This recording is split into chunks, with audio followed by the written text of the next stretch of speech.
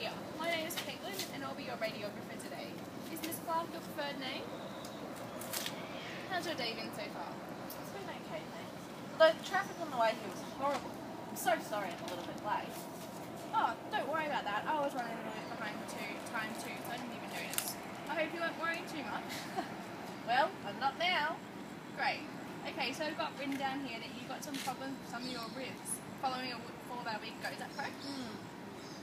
Sorry, am I speaking too fast? It's a horrible habit of mine. A little bit, yes. Okay, I'll slow down a little and make sure and make sure you say something if you don't understand everything I say. Would you do that for me? Yes, of course. So, I was saying, from what I understand, you injured some of your ribs following a fall about a week ago. Is that correct? Yes, last last Thursday that was. And have you been in a state of discomfort since that time?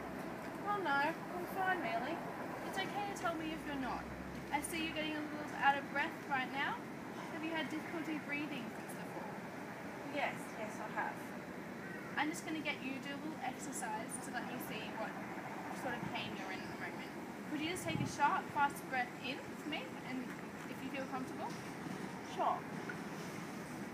Now, on a scale of 1 to 10, 1 being in no pain and 10 being in unbearable pain, how much did that Maybe, a five? Actually, we'll make that an eight. Okay, sounds like you've definitely got something wrong. Broken or fractured ribs can be extremely painful, you poor thing. Have you had an x ray before? No. Are we worried? Of course not. It's just like having a special picture taken, and hopefully you'll be able to get some relief with your breathing once we know what's going, what's wrong. And that's where an X-ray can help. But before we do anything else, we just need to get you into a very glamorous gown so we can see everything. Are you okay to stand up to do that? Yes, sure. Sure, I think I can manage. Do the buttons go up the front or the back? The back It can be a little tricky. So I think it might be easier and less painful if I helped you. Would you feel comfortable with that? If you could do that, that would be fine.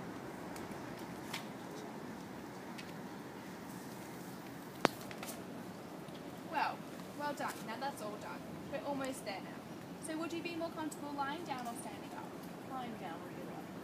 Great. Would you like a hand getting onto the bench? Oh yes, don't mind dear.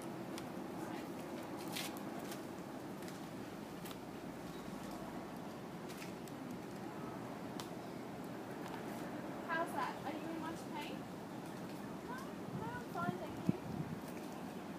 Much the get same. pillow to pop under your leg? Um, yes, thank you. Is that better? Yes, much better, thank you. No worries. We want you to be as comfortable as possible. Now, we're almost there. There's just one thing I'm going to, I'm going to have to ask you to do so we can get this done in one shot. I'm going to pop outside for a second, and as soon as you hear a beeping sound, if you could hear, your if you could hold your breath for about five seconds and hold as still as possible. Do you understand that? A beast?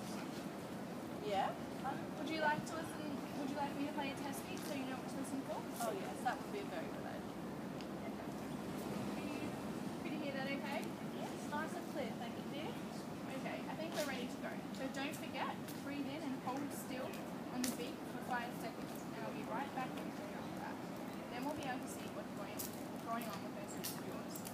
Do you have questions before we get going? No, I think we've covered everything, thanks love. You were fantastic. I'll just get you to stay where you are for a couple more seconds before, while I double check the image is okay. Are you comfortable enough where you are, or would you like to get down? I'm fine here for the moment, thank you. Thanks to you, we've got a very nice clear image. You did a fantastic job. Here, I'll help you down. Oh, that's great news. Thank you. You able to be, help me get out of this gown? Sure.